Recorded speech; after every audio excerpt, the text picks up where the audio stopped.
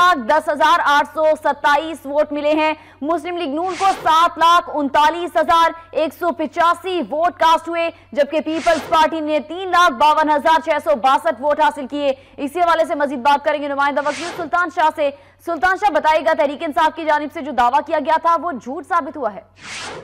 पाकिस्तान तरीके साहब की मरकजी क्यादत ने अपने कारकुनान को मामू बना दिया है। आज़ाद कश्मीर इंतबात की बात करें तरीके साहब ने दावा किया था कि उन्हें तीन लाख तिरासी हज़ार वोट मिले, जबकि ये दावा झूठा साबित कर दिया है। इलेक्शन कमीशन की जो रिपोर्ट जारी की गई है, उसके मुताबिक तरीके साहब को कुल दो हज़ार दस दो लाख दस हज़ार आठ सौ सत्ताईस वोट मिले, जबकि मुस्लिम नवाज़ को कुल सात लाख उनतालीस उनतालीस हज़ार एक सौ पचासी वोट मिले, जबकि पीपल्स पार्टी को आज़ाद कश्मीर में तीन लाख बावन हज़ार छह सौ बासठ वोट मिले हैं। पाकिस्तान तरीके इंसाफ के मरकजी सेक्रेटरी साथ नहीं ने ट्वीट किया जिसमें कहा गया था कि फिफ्टी परसेंट से जायद वोट मुस्लिम जमात के खिलाफ पाकिस्तान तरीके इंसाफ और पाकिस्तान पीपल्स पार्टी को मिले, जबकि उन दोनों जमातों के हिस्से में सिर्फ़ और सिर्फ़ चार नशिस्तें आई हैं। इलेक्शन कमीशन ने जो अपनी रिपोर्ट जारी की उसके मुताबिक तरीके इंसाफ का दावा एक मतलब फिर झूठा साबित हो गया और उनको जो कुल वोट मिले हैं, वो दो लाख दस हज़ार आठ सौ सत्ताईस वोट है। जी।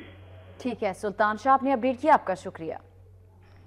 आपको बताते चले, तहरीक इंसाफ की जानब से ये दावा किया गया था कि उनको तीन लाख से जायद वोट पड़े हैं, मगर आज़ाद कश्मीर इंतबात में तहरीक इंसाफ को तीन लाख तिरासी हज़ार वोट मिलने का दावा झूठ साबित हुआ है। इलेक्शन कमीशन आज़ाद कश्मीर के मुताबिक तहरीक इंसाफ को सिर्फ़ दो लाख दस हज़ार आठ सौ सत्ताईस वोट ही मिले हैं।